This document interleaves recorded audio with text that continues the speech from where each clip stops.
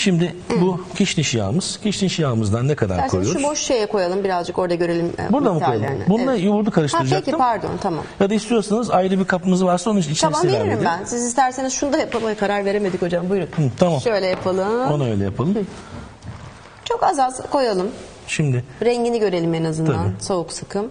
mesela buradan aldık koyduk bu kişniş yağımız. Kişniş. Evet. Bunu alalım şöyle şöyle koyalım. Kişniş yağımızı kapattık. Onun zaten faydalarından da bahsetmiştik. Orada keten tohumu yağı. Biraz keten tohumu yağı geliyor. Evet. Aspir yağını son dönemde çok duyuyoruz. Aspir Ee, yağı, Evet. aspir yağı tamamen tesadüfen keşfedilmiş bir yağ Hanım. 1978 yılında etin zararlı etkilerini, etin mutajenik etkilerini araştırırken Ne, ne diye geçiyor hocam? aspir Sa- yağı. Safflower. e, evet. Aspir yağı. E, Safflower aspir yağı diye geçer. Evet. Ama e, o zaman keşfedilmiş. İçinde E vitamini açısından çok zengindir. Peki. Kalp damar sistemini korur. Tamam. Artı vücuttaki yağ ve kas sisteminin dengelenmesini de sağlayan çok önemli bir yağdır. Yağ ve kas sistemini dengeliyor. Evet. Çok önemli bir şey bu. Kasların, yağsız kasların kütlesini arttıran, depolanmış yağları azaltan, yani spor yapmadan önce kullanıldığında yağ yakımın etkili olan bir yağdır. Çok güzel. Nasıl kullanacağız bunu da hocam? Yine böyle Onu tek olarak da yağını, kullanabilir aspir miyiz? yağının e, özütleri de var.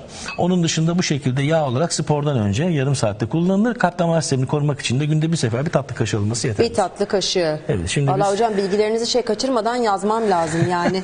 hepsini söylüyorum. Hepsi evet tamam diyorum sonra Çörek unutmayalım. otunu koydum şimdi. Hanımlar not alın lütfen. Çörek otu. Her derde Çörek de var. otu, her derde devam.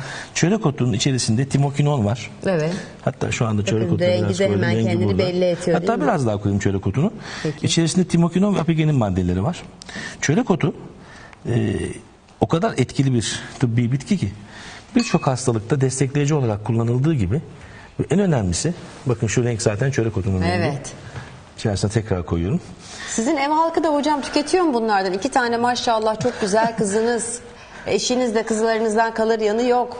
Bütün aile tüketiyor musunuz yağları böyle? Valla e, kısmen. Değil mi? Kısmen. Onlar da işin- Özellikle bitki çaylarını daha yoğun kullanıyoruz. Evet. Bir de aromaterapide uçucu yağlardan difüzörle çok faydalanıyoruz. O da çok güzel, evet, değil. Ama mi? zaman zaman tabii. Mutluluk mesela veriyor. büyük kızım keten tohumu yağını zaman zaman kullanır. Çok güzel. E, şimdi kabızlıkta da oldukça etkilidir keten tohumu Aa yağı. ne güzel. Evet.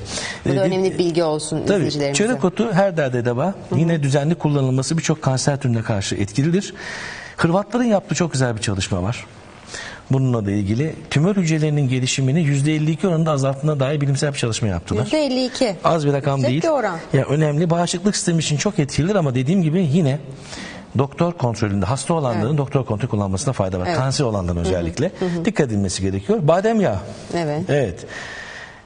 Kardiyovasküler sistem dediğimiz kalp damar sistemini, kolesterolü çok, Çok güzel tatlılar koruyor. hocam. Sizin kızlar, altın kızlar harika güzeller maşallah. Bugün beni yalnız bırakmadı eşim ve çocuklarım. Evet, çok güzel. İyi ki geldiler. Hoş geldiler onlar da. Sağ Çok olsunlar. Ee, badem yağımız e, kalp damar sistemi için çok çok önemli. Evet. Badem yağını genelde insanlar çok fazla bilmiyor. Sadece sürülerek kullanacağını zannediyorlar. Ama kalp damar sistemi için o kadar antioksidan özellikleri vardır ki badem yağının. Ee, ciddi şekilde tansiyon dengelemesinde. Değil mi? Her Oo. şekilde, her Bebekler yere- yürür. Değil mi? İşte dizlerini, dirseklerini sürterler. Tabii, badem yağı sürün. badem yağı. Dudaklarımız mı çatladı? Badem yağı sürün. Çok etkilidir. Saçlarımızı kuvvetlendirecek miyiz? Badem Susam yağı. yağı ile beraber badem yağını karıştırıp banyodan sonra çok güzel şekilde Hindistan cevizi yağı ile beraber Oo. kullanabilirsiniz mesela. Evet. Bu badem yağımızı da içerisine koyuyoruz. Evet. En favori yağınız hangisi hocam? Benim mi? Oo, çok zor soru. Çok var değil mi? Aa, şöyle söyleyeyim. e, Çörek otu yağı. Çörek atı. Evet. Yani Önde çörek otu, çörek otu şöyle söyleyeyim. E, fitoterapinin e, bazı lokomotifleri var Ebru Hanım. Evet. Biberiye bunlardan bir tanesi, kekik bunlardan bir tanesi ve aynı şekilde çörek otu bunlardan bir tanesi. E, e, tabii zerdeçalı atlamamak lazım. Evet. Ama Hocam için ucuz mu bu yağlar? Kolay bulunuyor mu aktarlarda? Ve, ve gerçekten o Şöyle yağ olup olmadığını güvenini nasıl anlarız? Üzerinde soğuk sıkım yazan her türlü yağ alsınlar. Zeytinyağını bile ben soğuk sıkım tavsiye Evet. ediyorum. Çok önemli Çok çünkü. önemli. Güneşe karşı koruması yanında saç tipleri ve cilde karşı çok etkilidir. Değil mi? Gitmeden önce böyle Evet. bazı e, bu işi iyi bilenler de görüyorum. Susam yağı, havuç yağı vesaire bir takım Yalnız karışımlar. yüze pek sürmesinler. Ha. Şimdi bunun içerisinde seslenmede verilen bir madde var susam Peki. yağının. O aldıklarında baksınlar şöyle. Bir çökelti var mı içinde? Çökelti varsa pek kullanmasınlar. İçerisindeki o sesamin etken maddesi tam çözülmemiş demektir. O biraz alerji yapabilir. Tamam. Bu haşhaş yağı, haşhaş tohumu içerisinde çok yoğun bir şekilde E vitamini içerir. Evet. Hücre yenilemesinde oldukça da etkilidir. Bunu da buraya karışımımızın içerisine yerleştiriyoruz. Ve menengiç. Menengiçten de bahsetmiştim. Biraz menengiç yağından da koyalım ve işte yoğurda karıştıracağımız Ve menengiçle ilgili bir şey söyleyeyim yalnız. Öksürükte, ülserde kullanılabilir. Böbrek taşları düşürmede destektir. Nefes darlığı, astım hastalarına menengiç yağını tavsiye ediyorum. Gerçekten mi Hatta akciğerleri temizlemede su teresiyle beraber birlikte kullansınlar. Su teresini hatırlıyorsunuz daha Tabii önce ki. bahsetmiştim. su teresi ve Evet. menengiç yağı. Evet. Bunların hepsi bir arada birleşince bir herhangi bir yan etki, e, alerji vesaire oranı yok. Yok ama şöyle bir şey e, kullandığı ilaçlar hastalıklarına göre mutlaka bunun değişkenlikleri söz konusu olabiliyor. Burada tabii çörek otu yağını az koyduğum için bu renk açık oldu. Evet. Onu biraz daha fazla Olsun koymamız hocam. gerekiyor. Koymuş gibi kabul ediyoruz Yani size. Çok şöyle- zahmet verdik. Süremizin sonuna geldik. Diyorsunuz ki bu e, yağların karışımı bağışıklık sistemini güçlendirir. Evet. Çok değerli bitkisel yağlardır. Evet. Hepsi soğuk sıkımdır. Peki bunu kullanırken nasıl kullanalım? Nasıl? Bu karışımı oluşturduktan sonra salatalara Tamam. iki tatlı kaşığı olarak kullanabiliyoruz. Bu karışım şu anda hazır bir karışım. Onun Evet. dışında daha önce toz karışımımızda yaptığımız gibi alıyoruz. Yoğurdun içerisine Evet. yine şu şekilde yaklaşık olarak 4 tane tahta kaşığı aldıktan sonra yine şu bu karışımımızı alıyoruz.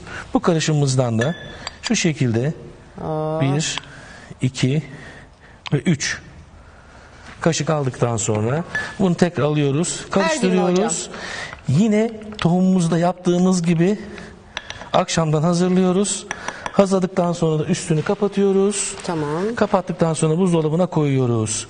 Gün aşırı çok rahatlıkla tüketirler. Buzdolabının kapağında kalsın. Ertesi gün sabah kalktıklarında bunu Yoğurt kullansınlar. ekşimez mi? Buzdolabında kalacağı için.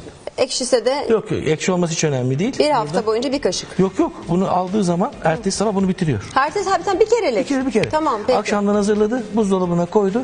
Sabah çıkan tüketti. Hani bir karışım tozumuz vardı. Aynen Nasıl onun gibi. kullanacaktık? Evet. Bir gün karışım tozumuz, bir gün bu. Çok bir gün karışım tozumuz, bir gün bu dönüşümlü olarak. Bağışıklığımız her zaman güçlü. Ve güçlü bağışıklık sistemine bu şekilde de merhaba diyoruz. Ve güçlü kadınların yağları diyelim hocam. Diyelim. Çok teşekkür ediyorum. Çok Dünya teşekkür Kadınlar ederim. Günü olduğu için bugün her şeyi Evet, bir şekilde kadınlarımıza evet. bağladık. Aynen öyle. İyi ki geldiniz. Dünya çok Kadınlar teşekkür Günü kutlu ediyorum. olsun tabii bu arada. Çok teşekkürler.